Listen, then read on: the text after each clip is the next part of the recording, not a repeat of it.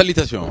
Très ravi de savoir, vous êtes très nombreux, branchés connectés dans ces euh, sites de bonne manière, euh, congodialogue.com. Merci de choisir ce programme, Espace Dialogue, là où la réflexion et la connaissance se rencontrent avec moi, Josué Boloa, l'international.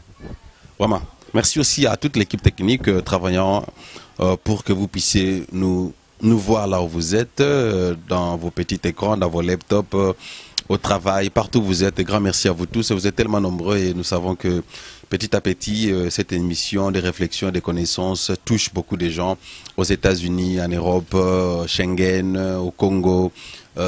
partout au travers les quatre coins du monde. Nous sommes très ravis de vos SMS ainsi que de vos commentaires. Pourquoi pas de vos suggestions pour que nous puissions améliorer notre émission afin que vous puissiez toujours être informés en temps réel? Bien sûr, cette plateforme Espace Dialogue, c'est là où nous vous amenons à réfléchir ensemble. Ce n'est pas une plateforme d'insultes ni de tribalisme. Voilà, j'ai au moins deux, trois quelque chose que j'aimerais partager avec vous. Mais premièrement, j'aimerais d'abord euh, euh, féliciter le président élu, Félix Antoine Chilombo, qui est élu, confirmé par la Cour constitutionnelle depuis quelques jours, n'est-ce pas, après après que Martin Fayou ait euh, déposé euh, son recours pour contester au résultat, il a voulu avoir la vérité ou les vérités des urnes. Dommage que la Cour constitutionnelle a pu trancher. C'est confirmé. Monsieur Félix Chilombo Tshisekedi est maintenant président élu de la République démocratique du Congo comme étant cinquième président depuis que l'histoire de la RDC et RDC. Après beaucoup d'années, beaucoup d'années, presque au moins 59 ans de l'indépendance, du moins nous avons maintenant euh, connu un président élu et que le peuple a voté, n'est-ce pas? Hmm. Voilà. Merci encore une fois. Je dis grand merci à la grande dame Francine Game de la Belgique, euh, la coordinatrice de ces bonnes sites de bonne manière. Merci à toi, maman Francine Game de la Belgique et Grand merci. Écoute, chapeau pour le grand travail que tu es tenté de faire. Steven, grâce, merci pour euh, la prise de vue. Voilà, comme j'ai dit, j'ai au moins deux, trois, quelque chose, trois éléments que j'aimerais partager avec vous. Premièrement, j'aimerais balancer un clip, euh, un message qu'un homme de Dieu en Irak de l'Afrique du Sud ici en Afrique du Sud, mais dans la ville euh, de Johannesburg, a donné au président élu, Félix Tshisekedi, je vais vous balancer ce clip-là pour suivre ces messages. Il a bien dit qu'il a eu, pendant la veillée, parce qu'il se réunit chaque le 30 décembre, et à la personne de je salue euh, les sacrificateurs Aïdji Kabbalah. Aïdji Kabbalah, je vous salue et grand merci encore une fois pour le grand travail que tu es en train de faire euh, au niveau de l'Afrique du Sud pour bénir le peuple de Dieu.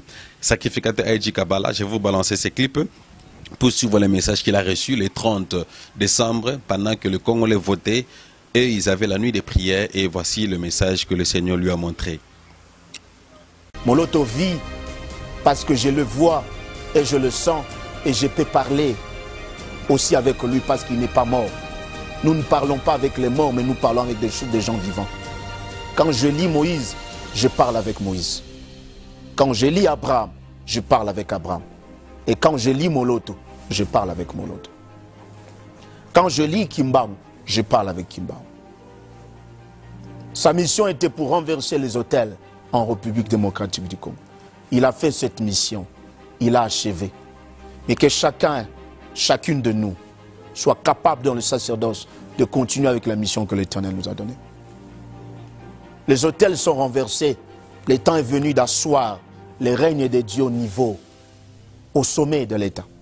L'Éternel disait, je voudrais remettre l'adoration au sommet de l'État. Le temps est venu de remettre l'adoration au sommet de l'État. L'Éternel m'avait donné le nom du nouveau chef d'État. Il m'a dit, il m'a montré Félix Tshisekedi. Il m'a dit, il est blanc, mais qui ne touche pas l'occultisme. Je dis devant le Saint-Esprit témoin, la Bible dit, tout péché sera pardonné, mais le péché contre le Saint-Esprit ne sera jamais pardonné. J'interpelle aux chrétiens, enfants de Dieu. Le Seigneur m'avait montré Félix Tshisekedi, ce qui est avec moi le 30, pendant la veillée. J'ai oint le nouveau président. Nous avons fait veiller le 30. C'était le jour où nous étions en train de voter. Le ténor m'a dit, je vous ai donné un nouveau chef de l'État. Ceux qui étaient venus à la veillée, G1, les vidéos vont montrer, on va mettre des images. G1, le nouveau président de la République démocratique du Congo. Et nous avons renversé aussi les puissances et les autorités qui s'opposaient à cette pensée ou cette volonté céleste. L'Éternel me disait, voici, il est blanc, mais il ne doit pas toucher à l'occultisme.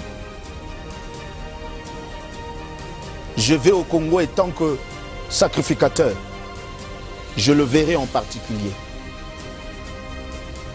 Dieu nous a donné les sacerdoces. Dieu nous a donné les sacerdoces pour diriger des chefs, pour les orienter, pour qu'ils puissent nous écouter. Il n'y aura jamais un chef au sommet de l'État si ce chef n'est que loin au niveau du sacerdoce par des représentants que Dieu a établis. Et Dieu me disait, dis-le lui de ne pas toucher à l'occultisme. S'il touche à l'occultisme, il ne dirigera jamais. Parole de l'Éternel. J'aurai des paroles à lui dire en privé. Ce que je peux dire ici, je dis. Et j'empêche, j'interpelle aux hommes de Dieu. Je vous appelle. Notre bénédiction ne dépendra que lorsque nous allons accomplir la mission dont nous avions été appelés. Le Dieu qui a travaillé avec Kimbangu, cet esprit s'incarnera dans les jours à venir. Le Dieu qui a travaillé avec Moloto, cet esprit qui était dans Moloto va s'incarner aussi dans les hommes. C'est cet esprit qui va révolutionner un peuple pour la délivrance, la souveraineté de cette nation. Et l'Éternel me disait ceci. Voici le nouveau président, dis-le lui. Pendant que je regardais, je voyais un homme au milieu des autres. Il y avait sept hommes, mais dans les sept, il y avait quatre, et dans les quatre, il y avait deux. Ils étaient divisés. Entre eux, il y avait deux groupes, trois groupes au milieu d'eux. L'Éternel me dit, il y a deux qui ont initié les autres à l'occultisme. Ils ont besoin d'amener l'occultisme. Mais va dire à mon oin, je voyais un, un, au milieu des hommes politiques qui était le oin de Dieu. Dieu me dit, dis-le lui. Mais pendant que je regardais, on lui avait donné une maladie. Il y avait une maladie, c'est prophétique ce que je dis, il y avait une maladie sur sa jambe droite. On lui avait donné cette maladie pour diminuer sa popularité. Et il s'est plaigné parce qu'il n'y avait plus de popularité. Pendant qu'il pleurait, j'étais en train de lui parler, le Seigneur m'a dit, parle-le lui. Il pleurait tellement. Les hommes lui passaient, sa popularité avait baissé. Et le Seigneur me dit, il est blanc, il n'a pas péché, il n'a rien fait. Mais il a commis une erreur. Il ne devait pas mettre ses mains à signer des choses. Dis-le lui de ne pas signer ces histoires. C'était occulte. Il n'y aura pas miracle si les pierres qui sont des tribus et des provinces ne se mettent pas d'abord ensemble. Et l'Éternel nous avait dit ceci. Il m'avait dit ceci. Regarde au milieu de ces hommes, je ne veux pas que quelqu'un touche à l'occultisme. Et il m'a dit, le Congo de demain ne sera pas dirigé par un homme qui est occultiste. Ça, c'est la parole de l'Éternel qui m'avait dit. Que celui qui va s'en opposer, que le ciel soit son juge et que le Saint-Esprit soit témoin de ce que je dis. Et pendant que je voyais, j'avais un souci en moi. Et le souci montait, l'Éternel me dit, j'ai commencé à travailler depuis un temps l'esprit qui dirigeait la République avait commencé par l'onction d'un agneau. Après cette onction de l'agneau, il y avait l'onction d'un léopard. Après l'onction du léopard, il y avait l'onction d'un lion. À la fin, il y avait l'onction d'un aigle. Les pays doivent se développer à cause de l'aigle qui doit entrer. L'aigle doit amener les pays à un autre niveau. Dans les choses spirituelles, Dieu ne voit pas nos tribus il ne voit pas des personnes. Dieu voit la mission. Si un homme se conforme au cœur de Dieu, il devient l'incarnation de la mission. Nos pères nous ont prêché, je crois à l'incarnation de l'esprit de nos pères et je crois à l'incarnation de l'esprit de Dieu dans un homme. Voilà, merci. Je crois que vous avez suivi ces messages. Donc, il n'y a pas de commentaires à faire. Ce que moi j'ai retenu, il dit que le Seigneur a montré. Donc, pour être bref, Félix serait le président élu, mais il y a un avertissement qui ne devrait pas toucher aux occultistes, pas toucher aux sciences occultes, sinon il sera déphasé. Sinon, le pire va le joindre. Ça, c'est un message spirituel, un message ecclésiastique que monsieur le sacrificateur Aïdji Kabbalah a reçu. Donc, vous pouvez encore suivre le message. Et si vous pouvez, peut-être vous, allez euh, bien suivre encore ce message. Vous pouvez encore replay euh, pour euh, bien saisir ce message. Et il a encore dit, il descend au pays pour voir le président élu, mais c'est Félix face à face pour lui donner encore certaines directives que le Seigneur lui a montrées. Voilà, moi je dis grand merci et félicitations encore une fois. finalement, nous avons le président élu, Félix Tshisekedi. Coup de chapeau à toi et, bien sûr aussi coup de chapeau aussi à Vital Caméré. Hein, quand je dis coup de chapeau par rapport à la coalition qu'ils ont eu à ainsi que l'UDPS, pour euh, petit à petit combattre, euh, n'est-ce pas, le candidat du FCC, qui aujourd'hui, je me pose la question, qu'est-ce qui ne va pas avec lui? Il est silencieux je ne sais pas pourquoi. Euh, peut-être la plateforme FCC ne lui a pas encore donné l'autorisation d'être sur le média pour dire ce qu'il doit dire quand même.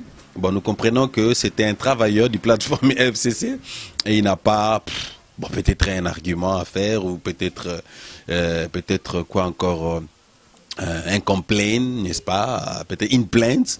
Bon, lui n'a pas ça, comme Martin Fayoulou l'a fait. Je propose encore le deuxième élément.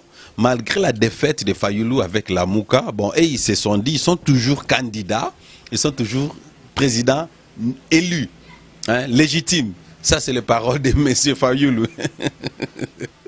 Bon, il y, a, un peu de joke hein, qu'on s'est dit ça et là dans des réseaux sociaux et que, bon, Martin Fayoulou euh, est président qui est dans des réseaux sociaux. Et s'il est réellement président, pourquoi il n'a pas organisé euh, un, discours euh, ou confirmé par la RFI, les TV5 et tout ça? Tous ces médias internationaux, eux, se sont dit qu'il est président. Il a toujours défendu, il voulait toujours être là. Il a dit qu'on a triché les élections et jusqu'à ce qu'a mené les, les complaints ou les recours à la Cour constitutionnelle. Bon, dommage. C'est la CENI ainsi que la Cour constitutionnelle qui décide qui serait élu comme étant euh, président de la République. Donc, pour Martin Fayoulou, de, son côté, il dit il y tient toujours. Et je vais vous balancer les clips euh, en collaboration avec la régie. Vous allez voir, euh, je vois Jacqueline Dalla à l'intérieur, je vois aussi Ridi Mandio. Et ce sont des gens dynamiques qui rassemblent les jeunes pour soutenir toujours l'opposant perdant, monsieur Martin Fayoulou nous savons quand même qu'il est soutenu par Moïse Katumbi ainsi que Jean-Pierre Bemba. Et à la dernière minute, nous avons vu ils ont voulu recourir à Paul Kagame pour intervenir. Quand je vois Paul Kagame, je vois Sadek. Quand on voit Sadek, on voit Paul Kagame. Et les gens ont fait beaucoup de bruit pour se dire, mais comment se fait-il que le monsieur Paul Kagame, lui qui est accusé de génocidaire, il a tué beaucoup de gens, il est même à la base du malheur de la RDC. Pourquoi encore recourir euh, à lui pour l'intervention euh, d'une organisation, d'une institution privée qu'on appelle la RDC et les élections, bon, ça n'engage pas le Rwanda, ça n'engage pas le SADC, mais c'est plutôt une organisation, que CENI ainsi que la Cour constitutionnelle, pris particulier de la RDC. Pourquoi son intervention? Mais dommage qu'ils ne sont pas venus. C'était prévu qu'ils soient ici le, 20, le 21 euh, janvier à Kinshasa euh, pour peut-être poursuivre un peu, pour vérifier si réellement Martin Fayoul avait raison ou pas, mais dommage qu'ils ont cancellé, ils ont annulé leur visite euh, jusqu'après que la Cour constitutionnelle ait annoncé, confirmé que M. Félix est président élu de la RDC. Voilà, donc euh, on va voir un peu comment ça va nous donner. La SADEC viendra encore, on ne sait pas quand, si c'est la semaine ici ou pendant l'investiture du président Félix, euh, Félix Tshisekedi ou comment, on ne sait pas encore. Bon, jusque-là, on a un peu close cette histoire.